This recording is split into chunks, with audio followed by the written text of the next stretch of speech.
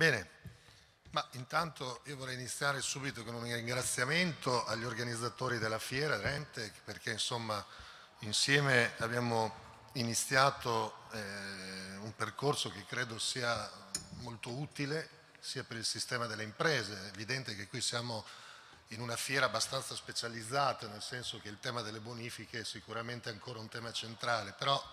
no, non c'è dubbio che uno dei temi, e l'abbiamo visto anche nelle presentazioni,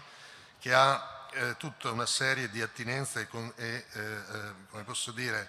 ehm, di attinenze con le attività che, che, vengono, che vengono, svolte dalla, eh, dal sistema.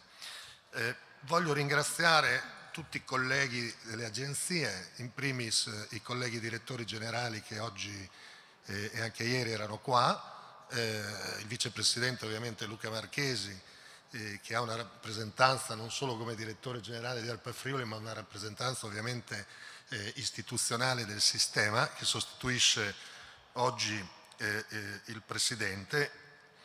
E eh, vorrei ringraziare ovviamente anche i colleghi non direttori che sono intervenuti perché credo abbiano fornito elementi conoscitivi importanti eh, prodromici alla discussione che faremo ovviamente nel pomeriggio. Eh, detto questo, proprio per non portare via troppo tempo, anche perché è necessario avere una pausa per poter eh, mangiare qualcosa e poi preparare i lavori di oggi pomeriggio, eh, vorrei provare a fare qualche ragionamento anche un, un po' di carattere generale, ma sperando di non essere astratto. Allora, è stato anche ricordato durante alcune presentazioni, noi oggi ehm, operiamo in un quadro strategico per quanto riguarda le politiche ambientali di sostenibilità, eh, forse che mai è stato così chiaro. Cioè, eh, abbiamo eh, piani e strategie a livello internazionale, a livello europeo, che ci indicano abbastanza chiaramente qual è la strada da percorrere. Veniva ricordato prima il piano sullo sviluppo sostenibile, eh, approvato a livello, a livello, governativo, che ha sede eh, nella sua attuazione presso la Presidenza del Consiglio dei Ministri, quindi un'indicazione molto forte, non è un tema ambientale ma un tema, come eh, eh sappiamo bene, l'Agenda 2030 eh, riguarda una buona fetta di questioni ambientali, ma ci sono tutta una serie di problematiche di carattere economico e sociale di grandissimo interesse e definisce una cornice abbastanza chiara di quali sono le, gli obiettivi a livello mondiale dell'Organizzazione delle Nazioni Unite eh, di dove si vuole andare a parare. Abbiamo un piano clima-energia, una strategia clima-energia che per il nostro Paese è importantissima, ma che anche questa sta all'interno del famoso accordo di Parigi, eh, che è un accordo vincolante, è un accordo eh, importante, è un accordo che eh, ci vede come sistema eh, eh, ampiamente presenti, dal tema del censimento delle emissioni di gas serra, dal tema della, dell'adattamento climatico. Uh, avremo anche un convegno in Puglia ai primi di ottobre proprio su tutte le questioni relative all'adattamento uh, climatico. Abbiamo una strategia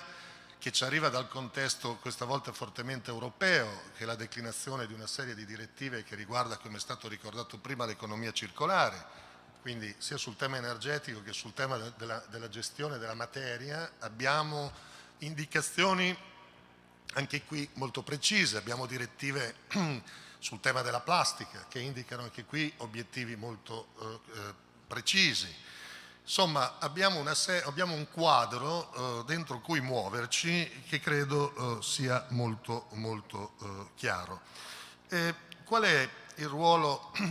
di un sistema come il nostro all'interno di, di, queste politiche strategiche? Ma io eh, con, continuo a dire, lo dico da sempre e ne sono assolutamente convinto e penso di non peccare di presunzione, credo che sia un ruolo assolutamente strategico. Uno, perché siamo coloro che producono i dati e la conoscenza ambientale su cui poi queste strategie vengono in un qualche modo impostate. Tra l'altro la legge 132, anche qui dopo una discussione non semplice non banale, ci, ci dà definitivamente eh, eh, il bollino diciamo, di essere i produttori ufficiali dei dati ambientali. Quindi la nostra reportistica che sarà sempre di più una reportistica di sistema e sempre meno una reportistica di ISPRA, ma in realtà noi non facciamo che collettare come ISPRA il lavoro che viene fatto in gran parte, non, non tutto, ma in gran parte a livello delle agenzie ambientali, eh, eh, quei report eh, costituiranno sempre di più un punto di riferimento fondamentale per i decisori politici. Alcuni lo sono già, ce ne sono alcuni forse più noti di altri, sicuramente eh, eh, il report sul eh, eh, consumo di suolo, quello sul dissesto idrogeologico, per fare alcuni esempi. Sono degli strumenti che ormai sono entrati, come posso dire, nella, nella, nel lavoro comune che viene svolto a livello sia di amministrazioni ma anche eh, per le scelte che devono fare i privati. Eh, in secondo oh, oh, punto è che siamo, io la dico così, non è una bella parola, però siamo co-custodi del bene comune, cioè nel senso che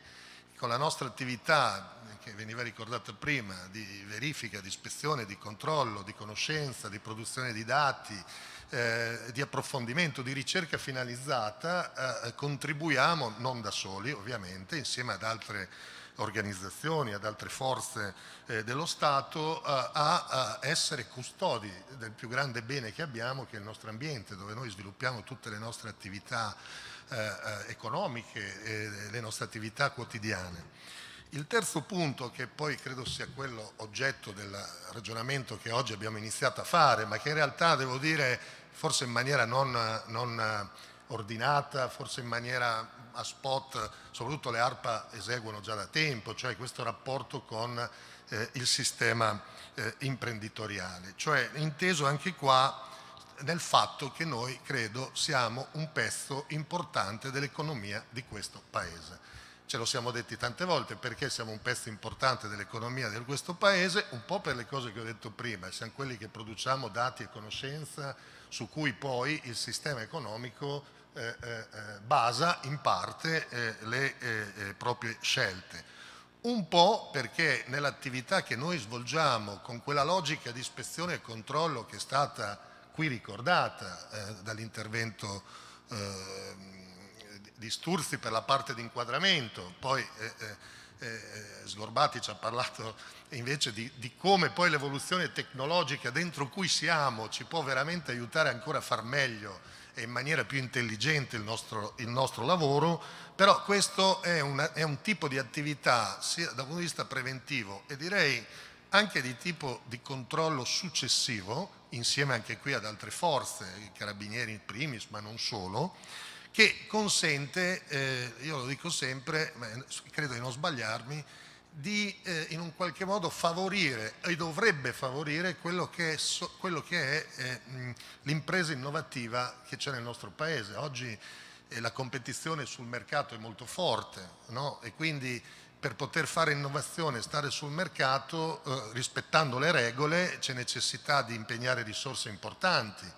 È evidente che, che se que, coloro che impegnano queste risorse, che scommettono sul futuro, si trovano a dover affrontare competitors che non rispettano le regole o che magari in una parte del territorio non sono controllate o, o non, non, seguono quei percorsi autorizzativi così interattivi e così virtuosi come magari succede da altre parti, non sfugge a nessuno che si crea una sorta di dumping industriale che non favorirà certamente le imprese di qualità. Quindi è evidente che noi abbiamo anche questa funzione. Ed è per questo, io credo, proprio perché abbiamo questa funzione, mi concentro soprattutto su quest'ultima, proprio per arrivare all'attività all che stiamo facendo oggi, che questo sistema, il nostro sistema, ha bisogno assolutamente di aprirsi agli stakeholders esterni, i quali, anche qui schematizzo e mi chiedo scusa, sono fondamentalmente diciamo di due tipi, li metto in scala gerarchica. I primi sono i cittadini, cioè noi, i, i, primi nostri stakeholder di riferimento, i nostri, come posso dire, in un qualche modo proprietari, perché lo sono a tutti gli effetti, noi siamo un sistema pubblico, sono i cittadini. Noi abbiamo bisogno, così come tanti altri, di eh, eh, riacquisire una fiducia eh, nei confronti dei cittadini. Abbiamo bisogno che le cose che facciamo, di grande innovazione o meno, eh, trovino nel cittadino una, dire, una fiducia. Oggi non è proprio così. però abbiamo di fronte qualche strumento interessante che forse è nato sembrava una cosa molto marginale, no? quando si parlava di citizen science, uno diceva, eh, ma cos'è sta robetta, serve, vabbè, per dire, no, faccio l'app con la fotografia della specie, della farfalla strana e poi la mando. In realtà non è così, eh, Luca sta facendo una bellissima esperienza, quella che hai fatto su Radon in Friuli Venezia Giulia, dove c'è stato un coinvolgimento dei cittadini sul monitoraggio del radon, no, presenterai credo l'11 ottobre questi risultati di questa interessantissima e bellissima esperienza che hai fatto con i cittadini, ho dato un'occhiata. Ecco, io credo che quel tipo di modalità lì, in Emilia Romagna si è fatto un lavoro a Bologna sulla qualità dell'aria, eh, si sta facendo da altre parti qualche ragionamento sugli odori, ecco, io credo che quella modalità di lavoro lì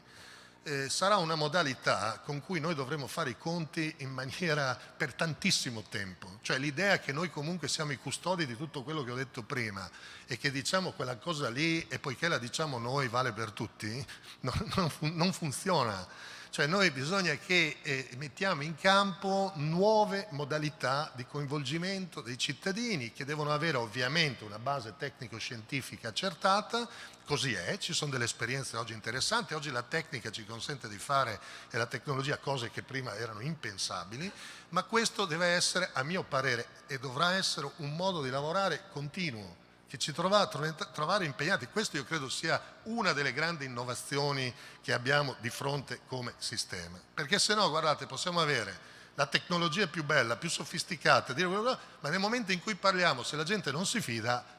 è finita. Cioè, non, non, non, questo vale per noi, ma vale ancora di più per il sistema delle imprese nel momento in cui viene chiesto di costruire qualcosa. Eh? Cioè, il tema dell'accettabilità sociale del progetto è un tema che anche grandi imprese molto innovative spesso non si pongono. Oggi è, a mio parere, il tema numero uno. La seconda questione che credo appunto sia importante, veniva anche ricordata prima e ci sono, ripeto, tante ARPA che hanno già fatto queste esperienze interessanti sul territorio, è proprio questo, eh, attivare questo confronto col sistema delle imprese perché noi comunque con le imprese ci lavoriamo tutti i giorni, perché le imprese sono un pezzo di economia, perché un pezzo, sono l'ossatura del, del, del sistema di sviluppo economico di un paese. E noi abbiamo il dovere di confrontarci, perché in questo confronto interattivo, fuori dai nostri ruoli, che poi dopo, come posso dire, riprenderanno, noi abbiamo un ruolo ben preciso che ci dà la legge, eh, e che dobbiamo assolutamente mettere in campo nel momento in cui lo esercitiamo. Però ci possono essere altre situazioni, ne parlavo anche ieri col sottosegretario, assolutamente trasparenti, ehm, chiare, eh, come quella che faremo oggi pomeriggio, eh, eh, dove si inizia un confronto con le imprese perché noi abbiamo tanto da imparare, perché spesso le imprese dal punto di vista tecnico e tecnologico sono più avanti di noi, non c'è niente da fare,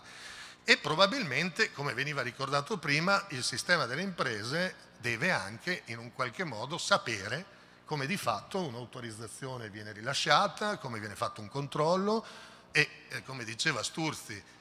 pensate lui diceva faccio fatica, io mi arrabbio quando in, in regione Friuli eh, no, una, cioè diciamo che è così e poi eh, ognuno fa quello che gli pare, provate a pensare che cosa vuol dire nel tutto sistema paese provare a fare questo tipo di operazione. Ma è un'operazione fondamentale, cioè bisogna partire per cominciare a farla, proprio per tutte quelle situazioni che eh, eh, ricordavo prima. Quindi eh, abbiamo tante cose da fare. Oggi abbiamo anche una posizione, direi anche sul livello internazionale differente, perché siamo entrati a tutto tondo come ISPRA, ma io chiedo qui ai colleghi di chiedere in sede di Consiglio la prossima riunione che faremo che ci sia una forte rappresentanza delle agenzie nel contesto europeo. Noi siamo un sistema unico in Europa, nel senso che a livello di Agenzia per, eh, Europea per l'Ambiente, che è di fatto il braccio esecutivo della, della, della Commissione, eh, che, eh, eh noi eh, dove c'è una rappresentanza mista, ministeri e agenzie, noi oggi siamo presenti come prima attori lo siamo come ISPRA, ma io non vorrei esserlo come ISPRA, proprio nella logica che ci siamo detti e, e, e, su cui stiamo lavorando. È importante che noi siamo presenti anche nei contesti a livello europeo perché anche qui in maniera molto breve ho cercato insomma, di, di, dare un messaggio del fatto che essendo dentro un sistema molto più grande di noi dobbiamo anche ragionare un po', tra virgolette, in grande, non trovarci spiazzati di fronte a determinate situazioni. Le professionalità ce le abbiamo tutte, credo che questa eh, iniziativa sperimentale che abbiamo fatto qui a Ferrara la potremmo assolutamente ripetere poi anche in altri contesti, già qualcosina faremo anche a Palermo Uh, uh, no, uh, guardo Vastana perché è stata organizzata questa tre giorni dalle agenzie ambientali e su diversi argomenti, anche qui ci sarà una giornata specifica del confronto col sistema tra sistema delle imprese ed SNPA. Quindi io credo insomma, che siamo sulla strada giusta, abbiamo tanto da lavorare, ma credo che l'entusiasmo e le idee non ci manchino. Grazie a tutti e buon pranzo, a dopo.